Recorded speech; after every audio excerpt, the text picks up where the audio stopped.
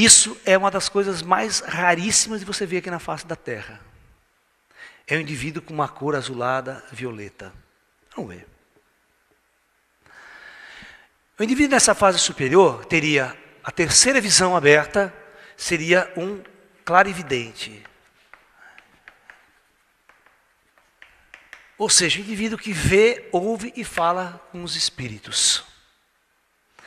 Possivelmente esse indivíduo sai fora do corpo todas as noites e vai para o plano astral visitar cidades astrais, tem total consciência do plano espiritual. Conhece os ETs, conversa com os ETs. E aqui na Terra, ele é um grande paranormal, um grande médium, um grande vidente. Um cara que vive, ele vive realmente a espiritualidade. Então esse cara vive a espiritualidade. Ele não é uma pessoa comum. Ele não é uma pessoa comum. Pode ser um grande médium, né? um grande mestre, um mestre desses mestres indianos, os mestres budistas, esses avatares que a gente ouve falar, um grande iluminado, ou a gente chama de um iluminado. Né? O termo indiano, ser na luz, porque está na luz. A consciência dele está aberta. E ele pode ter ativado esse chakra aqui, que faz com que ele recobre a sua memória de vidas anteriores. Ele sabe quem ele é. Ele lembra quem ele foi em encarnações passadas. Ele incorpora muitos conhecimentos numa única vida. Esse é o indivíduo que pode falar línguas estrangeira sem ter feito nenhum curso. Vamos supor que ele lembra de uma vida que ele viveu no Japão, viveu na Inglaterra, e incorpora. Ele começa a falar inglês, começa a falar japonês, começa a falar, porque é ele, ele viveu lá, ele trouxe essa memória viva. E o indivíduo que está interagindo com o plano espiritual, vendo, falando, conversando. Então esse indivíduo não é uma pessoa comum. Ele é um sábio, ele é um mestre, ele é um ser transcendido. Ele não é comum. E é óbvio que suas emoções, né, o emocional desse indivíduo é extremamente equilibrado. Você não vai ver esse indivíduo numa guerra, não vai ver esse indivíduo roubando, matando, pegando armas para lutar. Você vai ver esse indivíduo ensinando, ajudando, curando as pessoas vivendo em locais harmoniosos. Você não vai ver ele no meio da cidade de São Paulo, né, achando o máximo morar lá, trabalhando no banco. Você não vai ver um cara desse funcionário de uma empresa trabalhando no banco, sabe? Os ideais do cara, ele não vai entrar nesse jogo da sociedade. É o Jesus lá naquela época, né? Totalmente revolucionário, totalmente anti toda aquela sociedade montada, um indivíduo que vem para fazer uma grande revolução na humanidade. Vem para mostrar o caminho espiritual para a humanidade. Jesus era um cara desse. Jesus era um ser deste ser superior. Isso é um ser superior, um ser iluminado. Quando encarna aqui na Terra com uma missão especial. E ele muda tudo, meu. Ele tem poder e capacidade para. Esse cara, ele toca nas pessoas, ele cura. Ele tem ajuda do plano espiritual para curar. Para trazer a informação do plano espiritual. Coisa que o Chico Xavier fazia direto, né? Trazer as informações, canalizar livros, mensagens, trazer informação para quem está vivo aqui.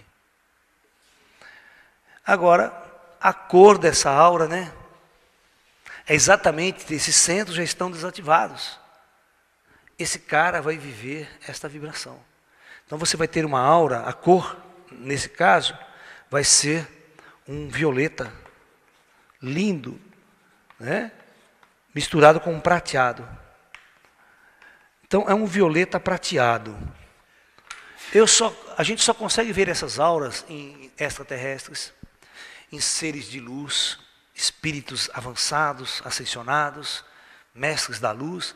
Aí esses espíritos vêm vê aquela puta. E a aura deles é um absurdo. Às vezes eles param e começam a irradiar, a aura deles chega a quilômetros. Ele expande a aura dele a quilômetros de distância, influencia toda a energia que está à volta. Tão poderoso que são esses seres. Mas é difícil atrair esses seres entre nós. Nós precisamos ter uma vibração, uma preparação muito intensa, porque a aura deles, quando toca na nossa aura, há um choque. Se você não estiver preparado, você passa mal. Então, é, é, aquela velha história. Às vezes um ser de luz chega perto de você. O fato de eu ter uma aura muito densa, o choque é tão grande que eu passo mal diante de um ser evoluído. E se você não souber interpretar, você pode achar que é o espírito ruim que está perto de você, porque você está passando mal. Entendeu? Geralmente os seres extraterrestres têm essas auras muito brilhantes, por isso que eles não se aproximam muito das pessoas normais. Eles precisam criar uma roupa eles precisam vestir um macacão que protege, que não deixa a energia dele influenciar a nossa, sabia? Eles criam tipo de um, uma roupa espacial deles, e essa roupa protege nós da radiação deles. Aí eles podem se aproximar das pessoas, ter um contato, conversar. Mas se ele tirar a roupa e abrir o campo áurico, as pessoas desmaiam, chegam a desmaiar. Elas caem desmaiadas. Como se tivesse um choque mediúnico, sabe? Você já viu choques mediúnicos? Está lá o médium, o cara cai e desmaia. Esse é um choque mediúnico, porque ele não aguenta a vibração do espírito, não está compatível com a vibração do espírito que está ao redor. Então, muitos médios entram em choque mediúnicos. É o que acontece muito em terreiro de Umbanda, de Candomblé. As pessoas comuns vão ao terreiro. Né? E as pessoas comuns acabam incorporando, acabam tendo aquela vibração descontrolada. Porque há uma incompatibilidade vibracional com o canal, com o espírito.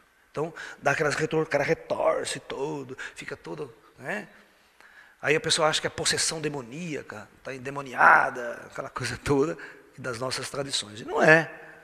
Né? Não é. E? Então, fundamentalmente, né, nós podemos retirar da observação da aura o estado evolutivo do indivíduo.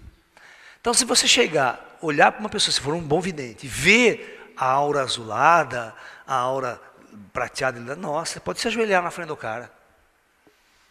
Pode pedir para ser discípulo, porque o cara é um ser de luz. Está ali.